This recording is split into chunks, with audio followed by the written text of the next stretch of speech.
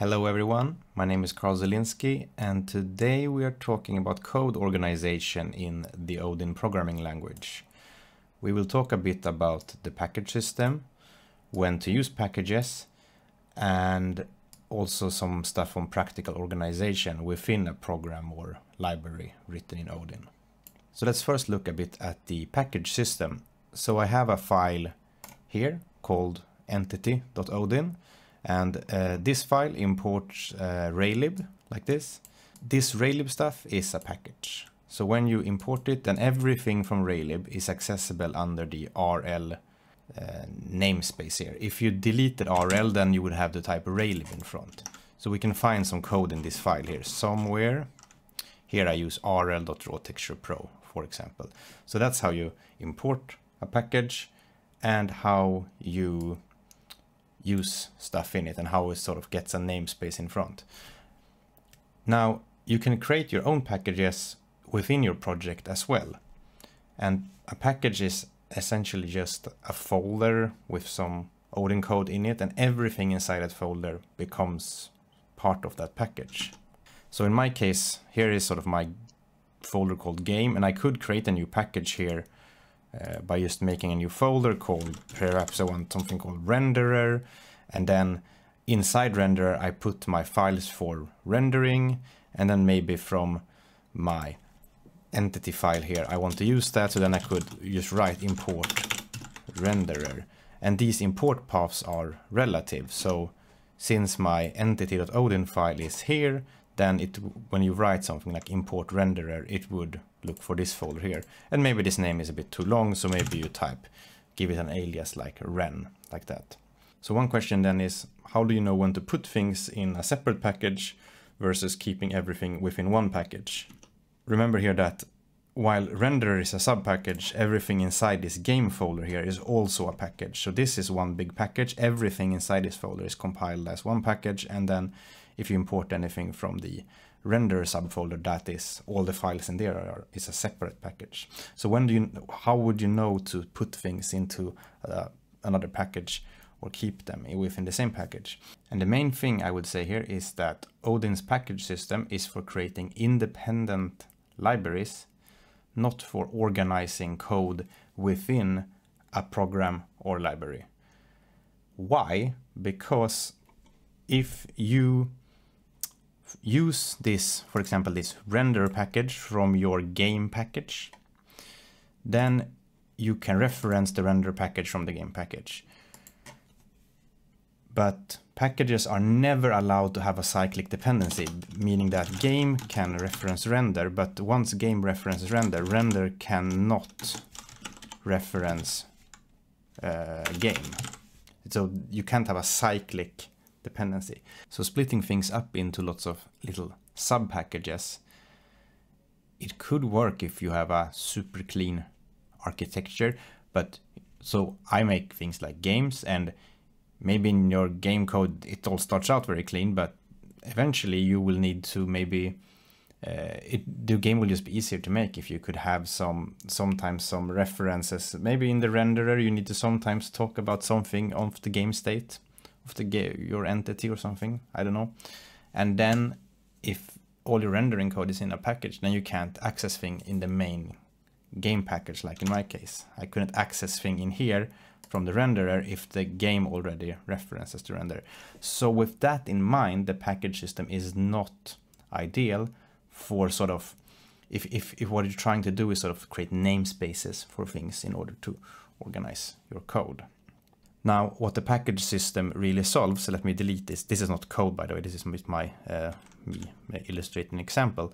Uh, if we just delete these things, what the package system really solves is that in C, for example, when you uh, import uh, libraries, then there everything just gets imported into a big global namespace, and then you can, unless everything in libraries is like prefixed with like uh, little uh, extra bits in front of uh, function names and struct names and stuff, then you can get collisions between different libraries. In Odin, you do not get these collisions because the name here is on the import side. So you, if, even even if you had two folders that were called raylib like this, then you could just give one of them a prefix and all that is namespaced under there. So that sort of solves the problem uh, of collisions between uh, libraries. So use packages to create libraries, such as, for example, raylib is a library, uh, and it is totally independent of my game. It will never have a reference back to my game. So if that's the rule, uh, what are some ideas for practical organization within a program or library? So let me delete the renderer folder here. So Odin comes from be trying to be a modern alternative to C. And within a C program, what you do for organizing things is usually you just give them uh, names that make sense. So you sort of organize things by by just uh, giving procedures and structs and stuff names. So you can see this a bit in this file here. Here is entity.odin and here I have, for example, entity a struct. It's called entity and then I have entity create from type. You can see sort of that the, the uh, procedures here are sort of prefixed with entity. And that is very much in line with how you would do it in within a C program.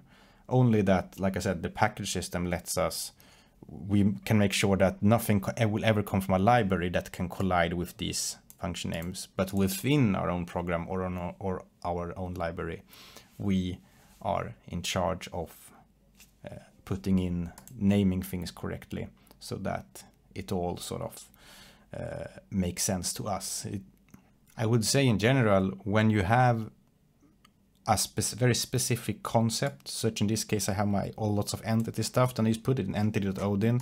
There's obviously a struct called entity, and then there's lots of procedures that work with entities, and then I prefix the name with entity. That's all there is. And when you compile your Odin program or library, then then all the things in the entity.odin file gets compiled into like one single namespace. So from game.odin, for example, I can access everything within entity.odin.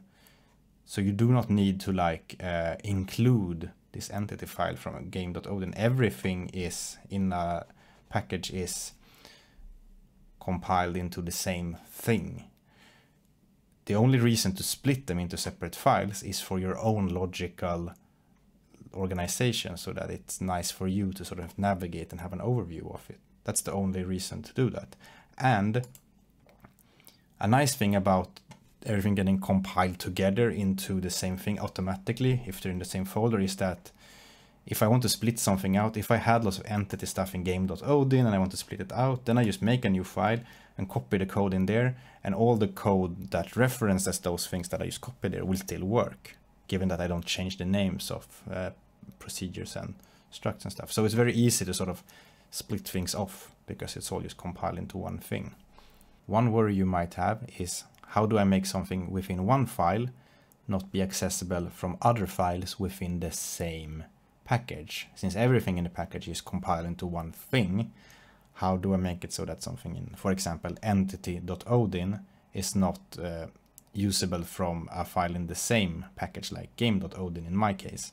In that case, you can write in front of something that you want it to be private to the file. So then you type uh, at private equals file like this. Now this one will never be possible to find outside of this file. In general, I would not worry too much about adding these private things. I have lots of procedures that are not used outside of a file, but it doesn't matter if, like they're only used within the file, but it doesn't matter if they're accessible out, outside of the file, really. So adding this in lots of places doesn't really do a lot for me. What I do use private file for is uh, for making sure that some that I don't accidentally use some global state in places where I shouldn't. So what do I mean by that? So in my game.odin file here, I have for example, this game memory struct. I use hot reload a lot, so I ha actually have like a global pointer to the, the main memory of the game. So this struct here has a single instance down here, gmem. And this one is initialized when I initially start my program and it contains all the memory for the game. And when I do hot reloads, it's sort of uh, this pointer gets uh, reset to the correct one. But that's not the point. The pointer is that I have private file in front of it because I can very accidentally start using this global memory everywhere and the, the code can get a bit, you know, just feeling like I'm constantly using uh, very messy globals everywhere. So in order to combat this, you know, I've, I've made this private to the file so that no other system can use this directly. I, I have small sub things inside it. For example, I have my world here and uh, then I have stuff like the editor state. So the editor actually uh, has a global pointer to the editor state within it, but it doesn't have the whole game memory because it shouldn't be looking at any of this stuff. If the editor code uses any of this stuff, then it's sort of doing the wrong thing. So that's sort of the only places where I use the uh, file private stuff within a package to just limit the usage of some global variables. Now, in, for example, entity.odin here, you see I have this prefix entity, blah, blah, blah, everywhere. In some cases, I do this prefixing sort of, you know, with the sort of system first here, it's the entity, but in some cases I, don't. So here, for example, I have world.odin, and as you see here, I have my world struct, and then I have add entity, remove entity, get entity. These are not prefix with world underscore add entity, etc. But they do take a world, and it's sort of part of the world thingy. But I, I, I haven't really called these. I don't put the world thing in front because I I think it's when you have trouble finding some procedures because of the naming uh, being like random. Like what if it's like lots of just randomly named procedures and you're having trouble finding them? Then it's good to put the prefixes on in front. But add entity and remove entity and get entity. I use so much so i remember exactly the names and exactly what they do all the time. So i don't need the name in front. So it's almost like the name use use naming to make things easier to find. But if things are already easy to find then you don't need to worry so much about what their name is because you already know it. So one more thing about this package stuff here is that, you know, I say don't only use packages for creating libraries, not for internal code organization. Don't try to use packages as namespaces is what I said. There are people within the Odin community that has made, successfully made software that uses packages for code organization within a library or program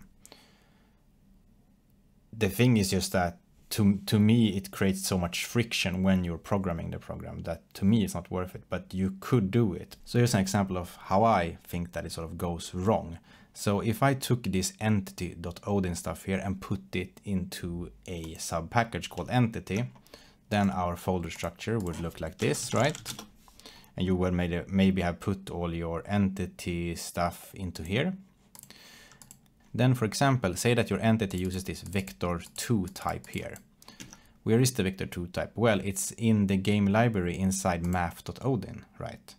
So if this game library uses the entity library here, and math and, and the vec2 is defined in here, then it cannot use it because uh, cyclic dependencies are not allowed. Game uses entity and entity cannot use game, but vector2 is defined within game.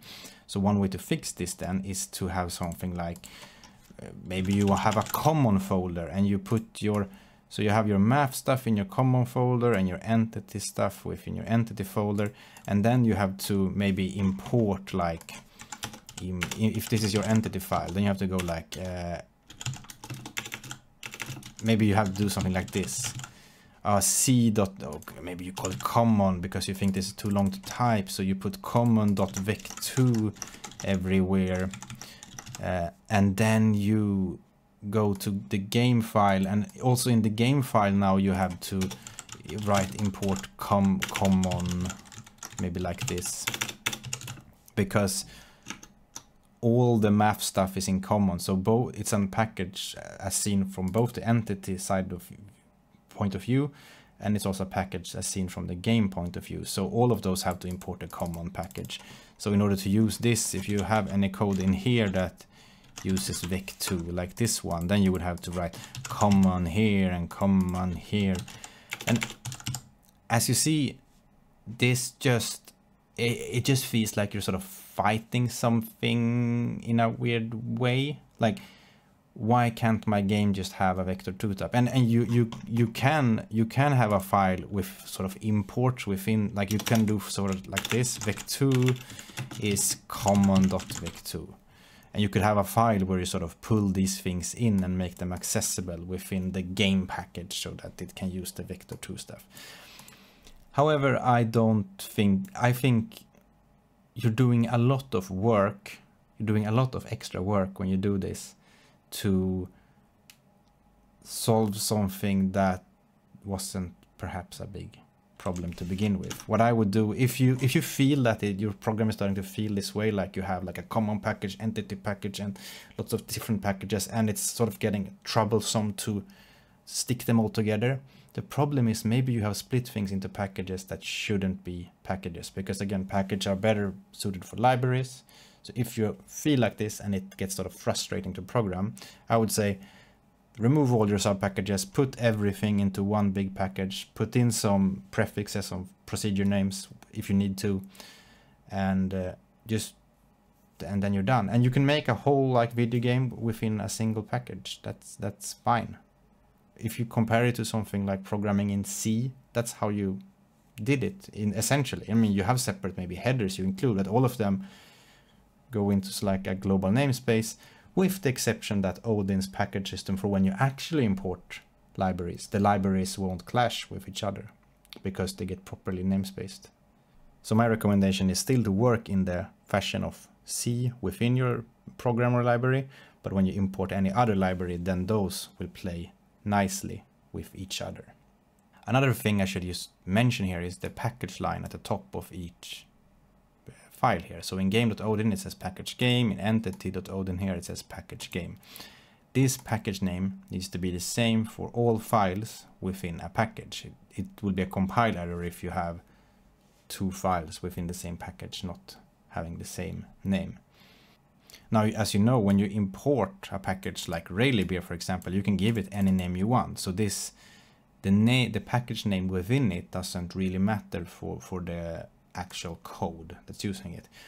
What the package name is for is for ABI linking, for making sure that when your code is compiled as, for example, a library, uh, how, how it uniquely identifies things uh, within that library. And so if you're just making a program that's not going to be used as a library, then the, the package name isn't that important. But if you plan on it being available as a library that anyone can use, then make sure that you have a, a nice and unique package name. But for any program, or even if you make a little library for use within your own library, then you just need to make sure that that's sort of unique within your code, but it doesn't have to be unique in the grand scheme of things. And also the like because of that, the package, the, the, the name here does not have to be the same as the folder it's in. It can be something longer and more complicated to make sure it's unique. It could be like Metroidvania-ish game or whatever you want it to be. So that's it. Thank you all for watching. Special thanks to my patrons. If you like these videos and you want to support me, then you can also become a patron. The link to that is in the description of the video. Have a nice day and happy programming. Bye bye.